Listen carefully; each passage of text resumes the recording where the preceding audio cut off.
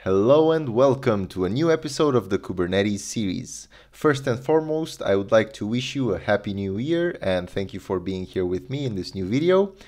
And I would like to mention that today we're going to talk about ingresses in Kubernetes, basically discussing about what they are, what their purpose is, and how we can use them, following up with a demo. If this sounds fun, as usual, let's jump straight into business. Before jumping headfirst into ingresses, we need to understand some other concepts. And the first one is controllers. We've spoken about controller manager in the initial video regarding Kubernetes architecture. And basically that's a manager of controllers. Yeah. And if you want to have controllers simplified, think about the controller like the process which takes into account and supervises all objects of the same type. And what I mean by that is Kubernetes by default gets shipped with certain controllers, such as pod controller, service controller, endpoints controller, and so on. So basically, when you create an object of one of these types, let's say when you create a pod, the pod controller will take that object into account and it will manage its lifecycle. Okay? And why I want to mention controllers first is because in Kubernetes, there is no ingress controller, or at least it's not shipped by default as part of the controller manager. So if you want your ingress objects to work, you need to deploy your own ingress controller into your Kubernetes cluster first. Okay, this is a prerequisite and this is why I started with it. So again, reiterating, you want ingress objects to function, you need an ingress controller the ingress controller doesn't get shipped by default with Kubernetes, so you need to deploy your own ingress controller. Now that we got controllers out of the way and we understand their purpose, let's talk about the subject of this video, which is ingresses.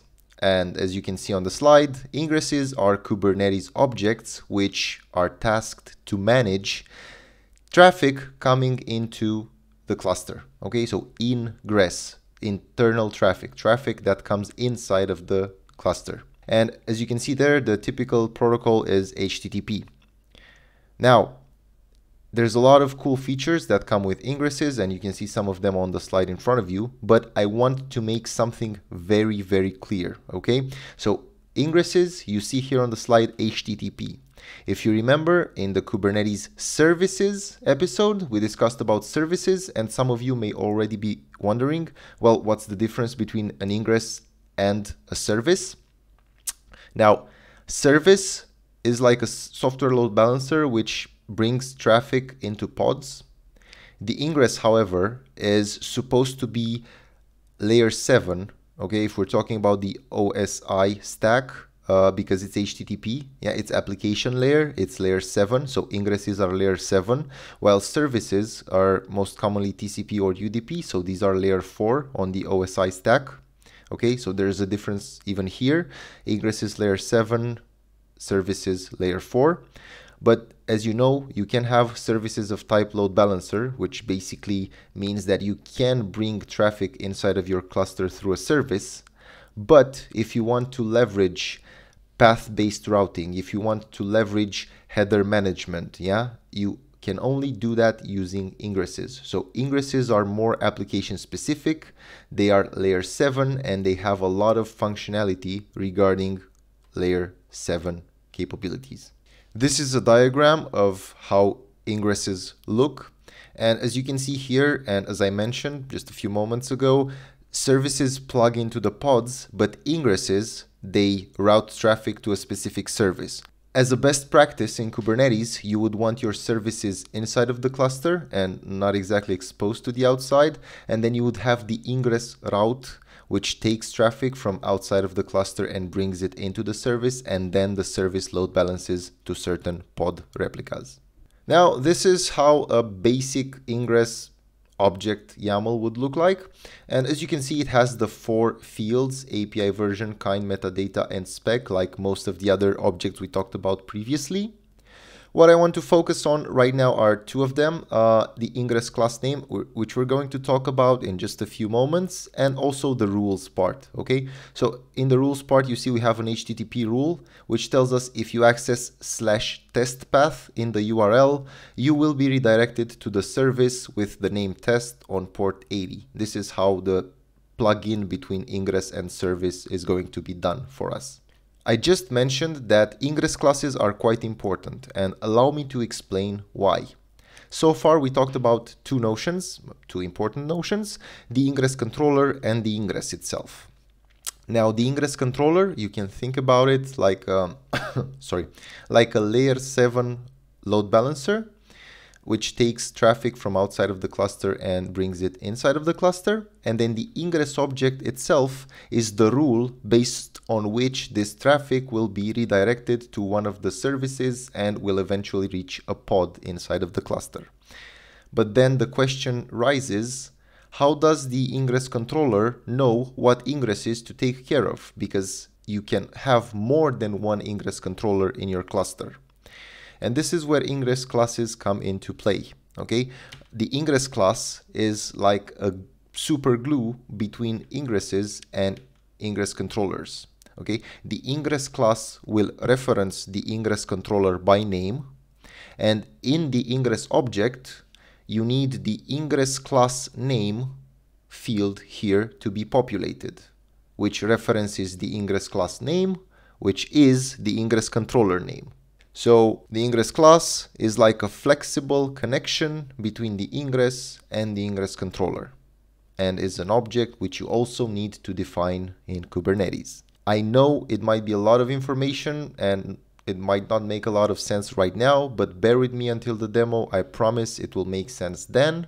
This is how an ingress class YAML manifest looks like. As you can see, you reference a controller here in the spec and the name of the ingress class has to match the name of the ingress controller. That's basically it. Okay, it's it's not a very fancy object. The final point I want to make jumping into the demo is presenting different types of ingresses that we might use throughout our interaction with Kubernetes. The first one, as you can see here, is the one backed by a single service. So you declare an ingress and its default backend is one service. Okay, so when you access the ingress controller, it takes you straight to that backend service. Other flavors of ingresses might include the simple fanout, which basically says that the client will access the load balancer of the ingress controller. And if you go in your browser to slash foo at the end of the IP or the URL. Yeah, so you go somewhere slash foo, it will redirect you to service number one. But if you go to the same host name but slash bar, it will redirect you to the second service. Okay, so it's like a path-based routing the final type of ingress we're going to talk about today is the name-based virtual hosting.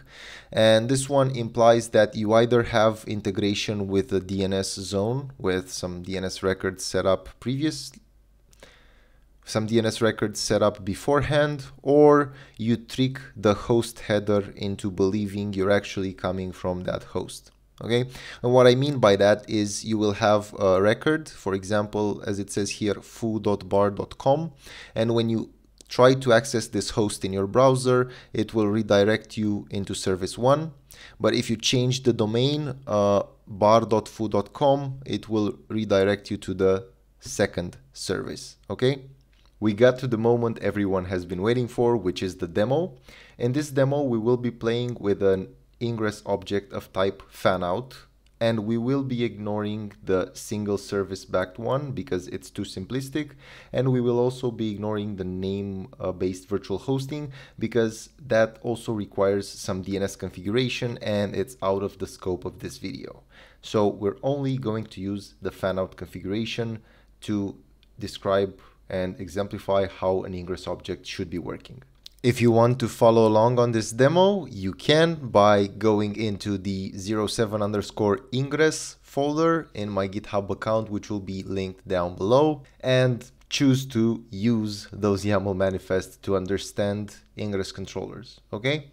So the first thing we need to do is open readme.md and in here we have clear instructions on how to install the ingress controller. In our case, we're going to use the ingress minus nginx. So it's an ingress controller coming from nginx and it's my preferred one to use. And in our case, let's do kubectl uh, get nodes to see that the cluster got deployed and it did almost five minutes ago so that's amazing and what we need to do here is run some helm commands don't worry we'll learn about helm in just a few videos but for the time being all you need to know is that I'm using a sort of Kubernetes package manager to install this ingress controller. So let's say instead of release name I'm going to say controller. There we go. We have an ingress controller deployed. Okay so what is this ingress controller you might wonder? Well it's pretty simple. If you do kubectl get pod you will see that we have a pod. If we look at services you see that we also have a controller nginx load balancer type service okay? So an ingress controller is actually a combination in this case for nginx for the nginx ingress controller the ingress controller is a combination of a service and a pod okay? And the service is backed by an azure load balancer because we've deployed this into aks yeah we deployed this into azure kubernetes service. So basically we have a load balancer with a public IP in front of it and you can see the public IP here is referenced. So if I open this one in the browser, it will take us to the default Nginx page of 404 not found because I don't have any ingress root created here for this IP address.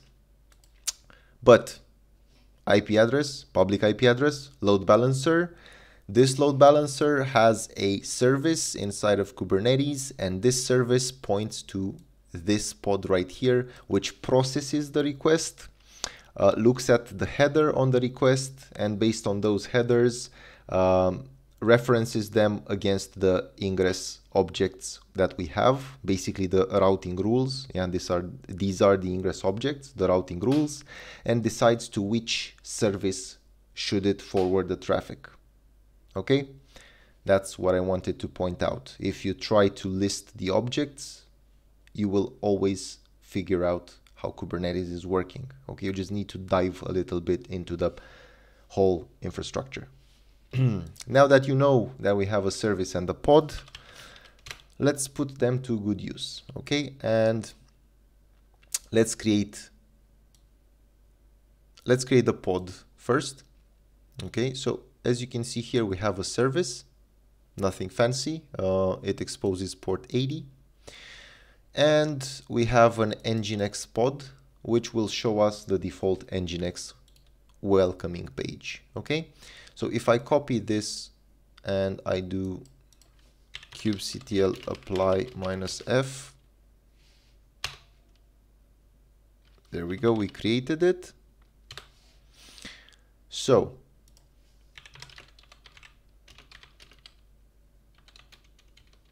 Now, as you can see, we have a new service which exists for 11 seconds and it's called the nginx minus service. It's the one that we just created.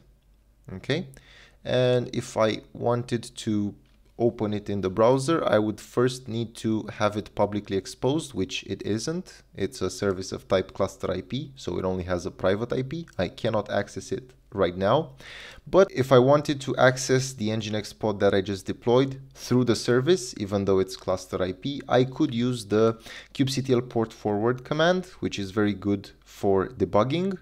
And in our case, it's now working. So basically, if I hit localhost on port 8083, let's copy this. Let's see what happens. There we go. Welcome to Nginx. And now we can see the Nginx web page served by our pod. Okay. But again, it's not tied to this IP address. Okay. This is still 404 not found. But I want to make it available through my ingress controller. And in order to do this, I need to create an ingress rule. Okay, so you can see here I have ingress.yaml. I can stop the port forward. And let's analyze the ingress a bit. So it says here that uh, single service ingress, okay, exactly what we want to achieve. So this is a proper name. We have an annotation here which says um, nginx ingress kubernetes.io rewrite target slash, and I will explain what this means in just one moment.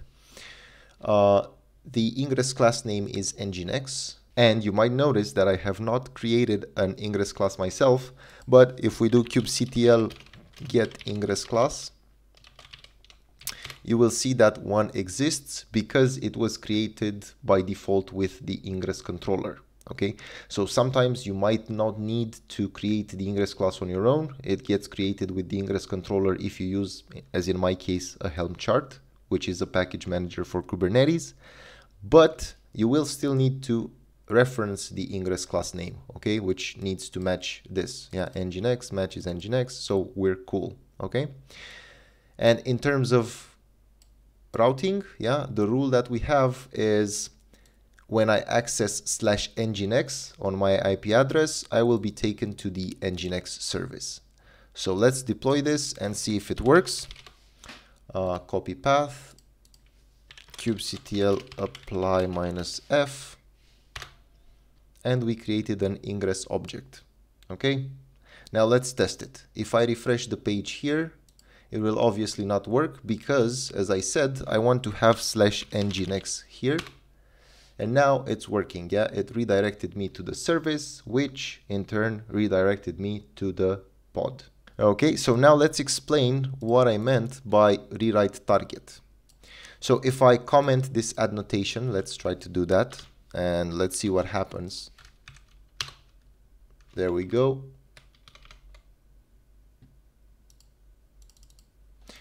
Now it's not working anymore okay? And let me try to explain what this annotation does so basically, when I access my browser, I say that I want the resource from slash nginx, okay?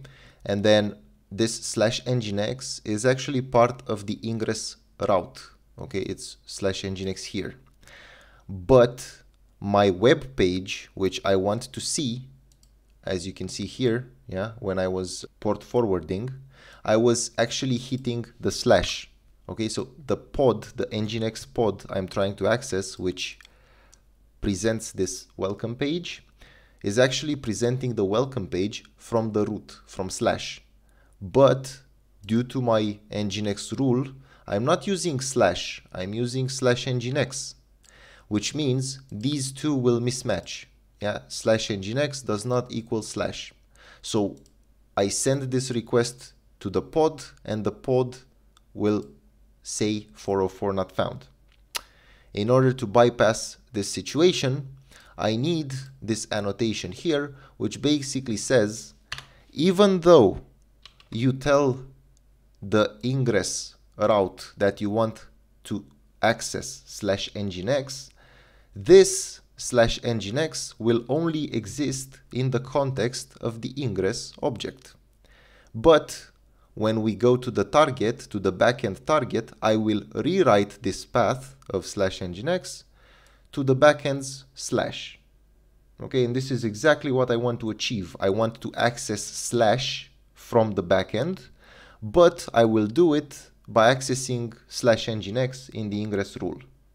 Okay, I hope this makes sense. If not, please read more about this annotation. It's just a gateway. And this is very important for a number of reasons. You manage to decouple where your backend will be served from how you call it in the ingress. And this is it for today, guys. I really hope I was able to demystify ingress controllers, ingresses for you and make you understand how to use these objects in order to leverage bringing traffic from outside of the cluster into your cluster and into your services in a secure manner and in a way which may benefit your organization. Obviously, these are just entry level examples. Uh, there's a lot more power that you can get from harnessing ingress objects. You just have to read the documentation and practice on your own. Okay, so this is just an intro. Don't have the expectation here that you will see production grade ingress objects and ingress controllers, but this is just helping you to get started with these powerful objects.